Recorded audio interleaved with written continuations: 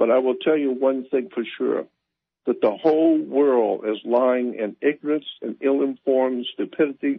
They have no idea in the world what's really going on on this earth.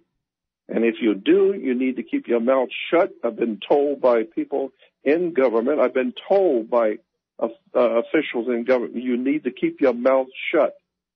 And the reason why is because I know who these people are. I know because I've been there. I know who they are, what they're doing. I know how the world really works. I know how this government really works. And I know how desperately evil it really is. You have no idea in the world how desperately demonic and depravity we have over us in America today. So if there is a devil, we've got it. And uh, we are a, an extremely uh, dangerous situation at this moment. The republic is now being unraveled and destroyed. And what is coming, you don't want to know. It's it's really uh, a tragedy. And like I said, the only light at the end of the tunnel for me is a train coming because I've been trying for many years and never been able to tell people what really uh, I have, what I really actually have. I've been wanting to, but I, like you said, I've never sold out. Well, the reason why is very simple. I consider this kind of knowledge absolutely important for the human race to know but it needs to be presented in the correct way. It needs to be pre- presented professionally with all the documents and pictures, etc. So I don't have the funds to do that. As you said, I move from one house to another all continually because I have no place to live. I don't have the funds to do what I want to do. I don't have it. But one, I, one thing I do have is I know what's going on. And I know that if the American people ever saw one half of what I haven't told you and what I actually have, uh, the church, government, banking institutions around the world are going to are going to pay a terrible price for the lies that they have perpetrated on the American people. And I've been looking at this stuff for a long time, and I, all I can tell you is I wish I had the funds to present my work to the world and watch what happens when the people, the ordinary working class people, see for the first time with their eyes, not just hear it from me, but actually see it with their own eyes, what has really been going on in Washington, D.C., and how our country is being raped and destroyed and plundered while the pe- while the enemies of our country and our way of life are mocking us and in front of our faces. They're producing television shows mocking America, mocking the American citizens. They mock our teenagers with uh, with cartoons of Beavis and Butthead. They they mock our families, our, our American families, with with uh, their s- stupid cartoons and the Simpsons and things like that. They mock America. They mock the the the whole idea of freedom and liberty and justice and and the decency and honor and morality is being mocked right in front of our faces. And, and, and my view, the most uh, destructive enemies that this country has ever had is the modern day Christian church. If there is any place that there is a conspiratorial apparatus in place to destroy the American people, it is in what we call today the Christian church.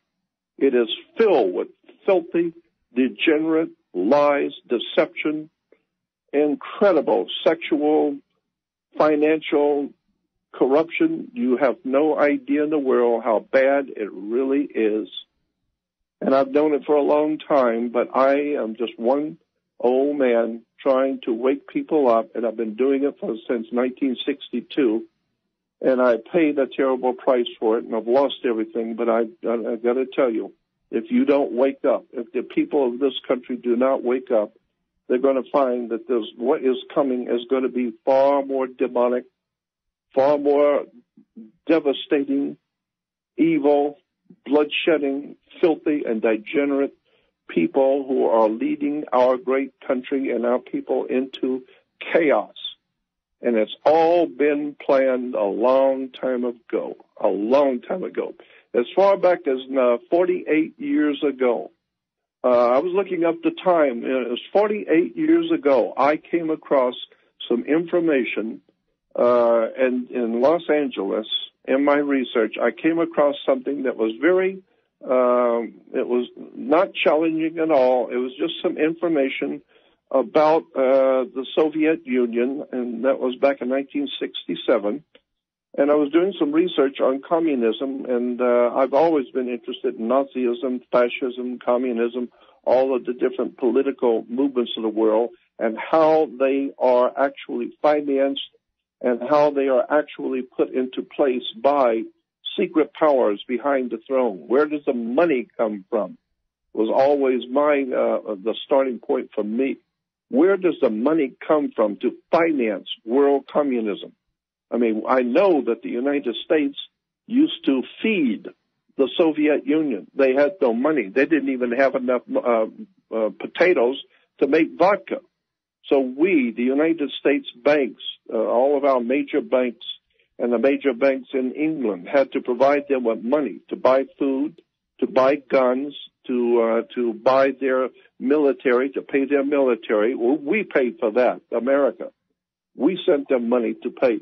As a matter of fact, there was an article in uh, Argosy magazine back many years ago uh, where there it was a great expose, very important expose done in Argosy magazine, where, and I'm talking about 59, 60, 61, I think, right about then, where the Federal Reserve had sent to the Soviet Union uh, back in 1948, uh, 19, what is it, um, 1940s, early 40s, these, the Soviet Union was starving. They couldn't fight Hitler. They couldn't fight anybody because they didn't have the money. They didn't even have the food to feed their troops. They were broke. And uh, because that's the way communism operates, it's always broke because nobody works. I mean, I know two communists and they don't work. So uh, the United States Federal Reserve, according to this article, uh, sent the plates uh, for hundreds and fifties and twenties to the Soviet Union. They sent the plates to roll off the money because it would look it would look bad, it would look strange, and they couldn't keep it secret if they were running off uh, 24 hours a day, running off the money, packaging it up, and sending it to the Soviet Union to pay for their troops and their guns and their food. And so it would look bad if anybody ever found out. There's going to be no way to hide it if that many billions of dollars are going out uh, every month to the Soviet Union to feed it and finance it. So it was found, it was decided that we'll just send them the plates for the money and let them run it off at home. Let them run it off there. So the Federal Reserve is sending the plates to their money to the Soviet Union because the because the Russians and the Soviet communists are starving. They need the money to buy food. They need the money to import food. They're, they're dying. They don't even have enough enough money. They don't have enough uh, uh, potatoes to even make vodka, like I said. So we had to send them money to keep them up. We need to keep them and support them. And so General Motors and Ford Motor Company and, and Eli Lilly Glass and Union Carbide and all the big corporations, including the uh, three or four major banks like Citibank and and Citicorp and and, and commercial bank out of uh, uh, Atlanta was sending hundreds of millions of dollars uh, to the Soviet Union to keep it going. Nobody seems to realize that. Nobody seems to question where did the communists in the Soviet Union get the money to build a great army and build, uh, you know, build that great communist threat? Financed out of out of a lot out of uh, New York, financed out of Georgia, out of out of Chicago, out of London. That's where the money came from. So what does that tell you? It tells you that we have an incredible blood-lusting, blood-letting, murderous banking system that is financing, organizing, and directing world communism. world wars, violence, alcoholism, drug addiction, the Medellin cartels and the Cali cartels and the great cartels of drug running down in Central and South America. Uh, it's, it's an extraordinary story of betrayal of the human race. And I could sit here and talk all night about things that you've never heard. And I've sat with these people and the people who are and the, the real movers and shakers. I've sat with them in private and talked with them. So I know what I'm talking about. You have no idea in, in the world what's really going on in this country called America today. And if the people ever found out how this thing, this trick has been worked on us for a long time and nobody can do anything about it because the people in power are frightened to death. The congressmen and senators know if they say anything, they're going to have a bad accident. Their family's going to have a bad accident or they'll be made to look like a fool in the papers. And so just all you need to do is ask the wrong questions in front of an audience of the president or of a congressman and watch what happens to you later. So in America, you can be killed if you know something you're not supposed to know. They will find your body somewhere in an alley with a with a bullet hole, three of them in the back of your head, and then claim you committed suicide. This is the America you live in today.